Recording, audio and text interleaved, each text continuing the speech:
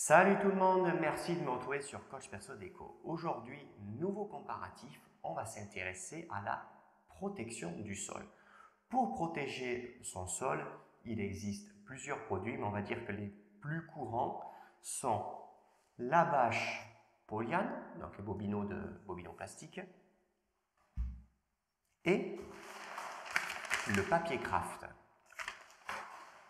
Je vais faire un comparatif et on va observer plusieurs paramètres. Et d'une, cette pièce fait 10,80 mètres carrés. Pour chaque, donc que ce soit pour le bobino et pour le craft, on va voir le temps que je mets pour protéger chaque pièce et on va voir également à l'usage la résistance. Je vais également passer l'aspirateur, voir comment se comporte la protection parce que ça c'est vraiment important. Les travaux peuvent durer 24 heures, comme on peut y passer plusieurs jours, voire plusieurs semaines. Donc on va comparer ça et puis on s'intéressera évidemment au prix de chaque produit, parce que ça c'est important, voilà, savoir ce que ça coûte, ça permettra de vous donner une idée lorsque vous allez avoir euh, des travaux et surtout du sol, du revêtement de sol à protéger. Alors ici, on est sur une bâche de protection qui fait 3 fois 25 mètres carrés, donc ça nous fait 75 mètres carrés par rouleau, 47 microns d'épaisseur, donc c'est, on va dire, la qualité relativement standard. Il y a plus fin, il y a quand même un petit peu plus épais. C'est un polyane que vous allez grosso modo payer euh, entre 20 et 22 euros le rouleau. Donc concrètement, pour 75 mètres carrés, ça va vous coûter sensiblement 26, 26 centimes par mètre carré. Je vais le mettre en œuvre et dès l'instant où j'attaque à le mettre en œuvre, voilà, on va chronométrer. Allez, c'est parti.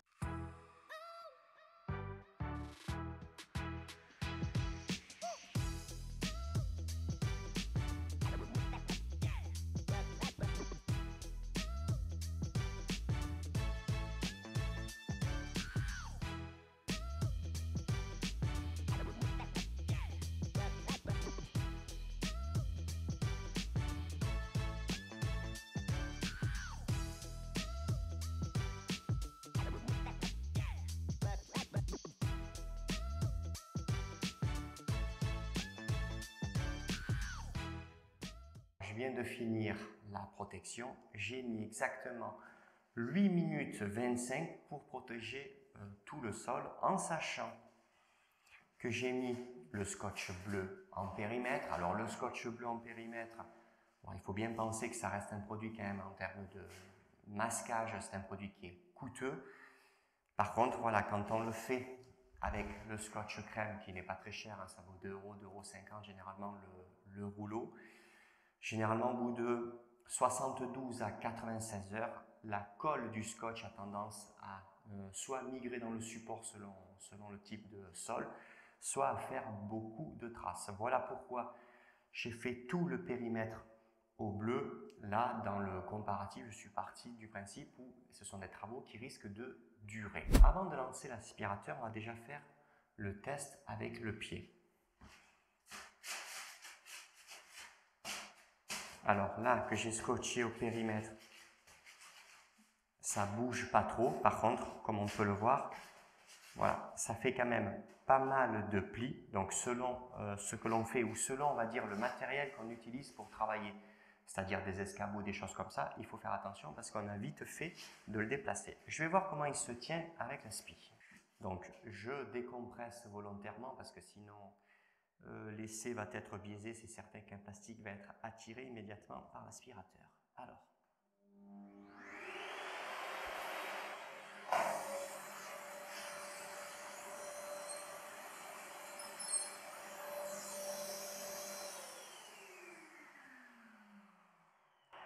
Alors, j'ai beau avoir laissé la sortie d'air, vous voyez, j'ai même pas réussi à faire 10 cm. L'aspirateur m'avale immédiatement le polyane et si j'insiste, eh ben, toute la protection que j'ai mis en périmètre, tout va s'arracher. Donc, aspirateur avec un polyane, si vraiment on veut tenir ses travaux propres, c'est ultra compliqué. On va être obligé de rester avec le, le balai ou la balayette, enfin voilà, épousseter, on va dire, de manière traditionnelle. On va faire maintenant un autre essai. Je vais volontairement faire tomber de la peinture et on va voir comment ça se passe. Quand on fait des travaux de finition, que ce soit des travaux de peinture ou des travaux d'enduit, on n'est pas justement à l'abri, donc c'est le principe d'ailleurs de masquer, de protéger, on n'est pas à l'abri de renverser par exemple de la peinture. on va voir comment ça se passe sur un polyane quand je me retrouve à avoir de la peinture sur le sol. Alors je vais bien charger la brosse de 32. Voilà. Donc là, j'ai fait tomber la peinture. Je vais marcher dedans et on va voir concrètement ben, pendant combien de temps j'en disperse. Alors.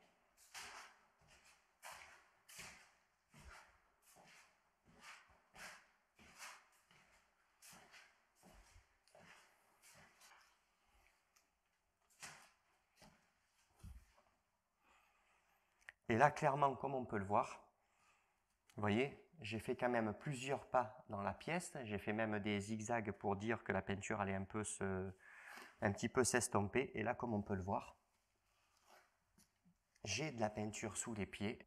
Malgré le fait que la pièce est vide et malgré le fait que j'ai marché, j'ai fait un peu des zigzags en disant de l'estomper ce que j'avais sous les pieds, vous voyez, la peinture, euh, ben, la peinture, j'ai quand même de la peinture qui est apparue. Donc si la pièce qui suit n'est pas protégé et que vous faites pas attention, machinalement, vous allez promener la peinture dans toute la maison.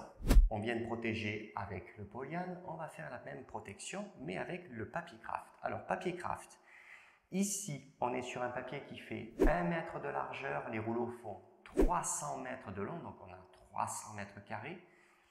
C'est un papier qui fait à peu près 27 kg euh, quand le rouleau est complet. Et en termes de prix, c'est un papier que vous allez payer entre 110 à 115 euros le rouleau, ce qui fait environ dans les 37 centimes le mètre carré. On va voir le temps que je mets pour protéger le sol à l'aide du papier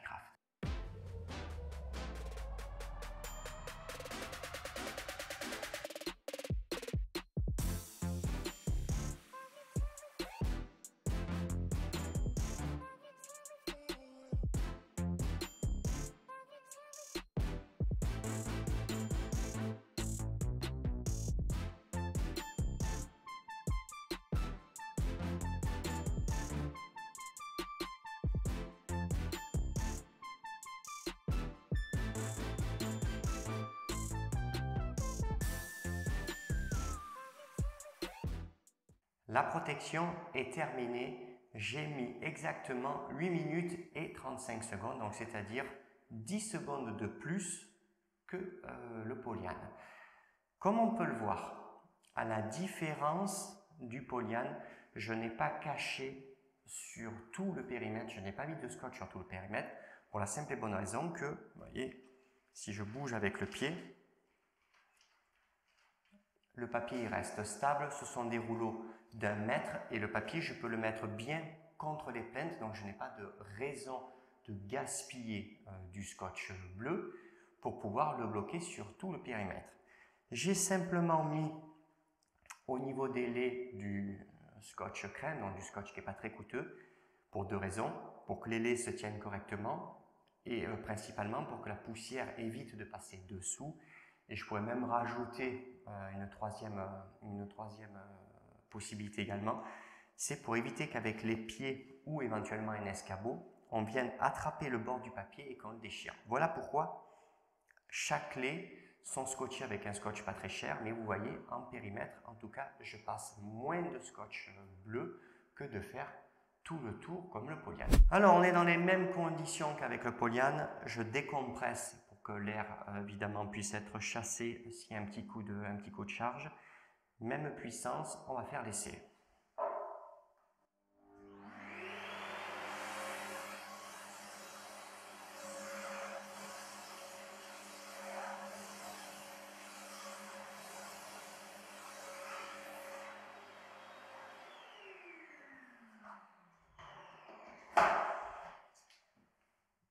Comme on vient de le voir, je peux aspirer tranquillement le papier. Donc si vous faites tomber de l'enduit ou je sais pas moi, vous meulez, il y a de la poussière ou des choses comme ça, vous voyez, le papier il ne se déplace pas. Quand j'ai fait avec le polyane, immédiatement, immédiatement ça a collé, donc c'est terminé. Du moment que ça colle, ça tire et vous arrachez tout.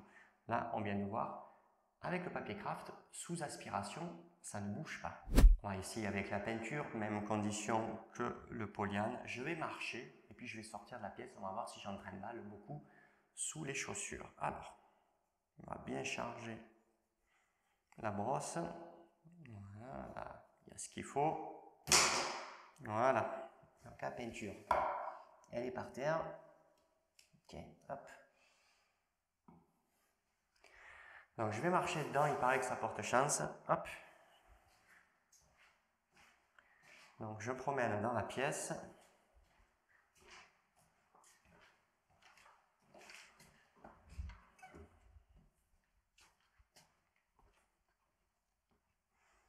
Et là, comme on peut le voir, voyez, la peinture, elle est juste là.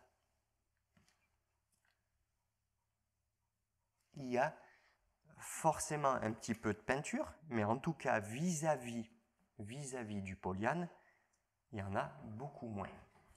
Donc le papier craft, la peinture va s'enterrer dans la peinture. Alors, bien sûr, la question qu'on peut se poser, c'est oui, mais je marche dedans, est-ce que concrètement, je n'ai pas passé à travers? Alors, je vous montre.